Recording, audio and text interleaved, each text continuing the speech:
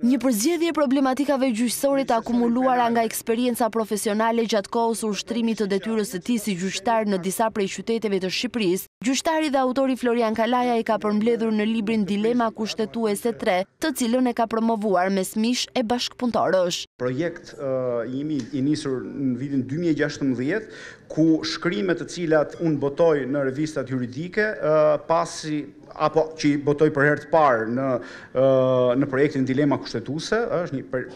periodik po themi i personalizuar, retushohen me kalimin e kohës, retushohen me pasurimin e jurisprudencës apo zhvillimet legjislative, derisa marrin formë që mendoj që do duhet të publikohet. Në libër gjenden artikuj të cilët botohen për herë të parë, por edhe artikuj të cilët janë ripunuar, duke i përditësuar me zhvillimet më të fundit ligjore. Është ngjizur, po themi, në secilin prej krerëve, prej pesëmbëdhjetë krerëve, në tre gjykata ku unë së fundmi kam ushtruar detyrën, së pari Shumica vijnë nga Gjykata e Apelit Durrës. Janë të gjitha çështje gjyqësore përveç një kreu, konstitucionalizimi përmes Kodit Civil të vitit një mijë e nëntëqind e njëzet e nëntë. Përveç këtij kreu janë të gjitha çështje